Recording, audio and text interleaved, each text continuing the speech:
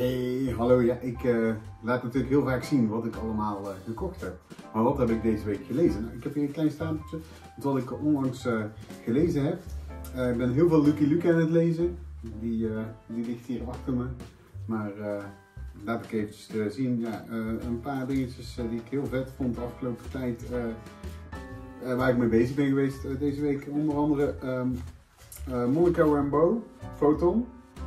Uh, deeltje 4 en 5. Ik had uh, 1, 2 en 3 al eerder gelezen. Die zijn echt de shit. Die zijn echt fantastisch.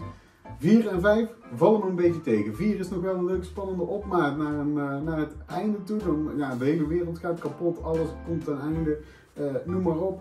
Maar ehm, ze zit ook een soort vast in een parallel universum en in een andere tijd. Um, maar in aflevering 5 wordt dat helaas helaas, helaas, um, niet heel erg goed beëindigd. Iets te makkelijk, iets te snel uh, naar mijn zin. Um, wat ik nog meer gelezen heb, ja, uh, het, het, eerste deeltje van Briar. En dat is een regelrechte aanrader. Dit wordt echt, uh, echt heel goed, denk ik. Briar over Briar Rose. Het begint een beetje door een roosje-achtig. ze wordt geprikt door een spinnenwiel. En nou goed. Uh, de prins die kust daar niet wakker, maar die neemt het hele land over. En, en nou ja, ik wil niet te veel verklappen. Briar. Echt uh, een aanrader. Uh, en dan verder, ja, goed, ik, uh, ik heb Gods een keer herlezen. Gods 1 en 2 heb ik een keer herlezen, want ik, ik, was zo onder de indruk wat Jonathan Hickman daar doet. zeker in, het, in het eerste deel.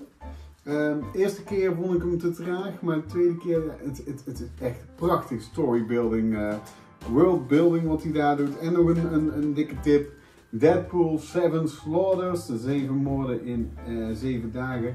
Uh, zeven slachtpartijen eigenlijk meer, door ook zeven schrijvers.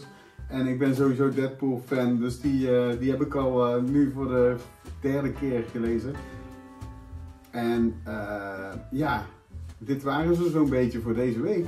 Um, heb jij ook nog wat leuks gelezen? Laat het hieronder in de comments even weten, want ik ben altijd benieuwd naar nieuwe tips.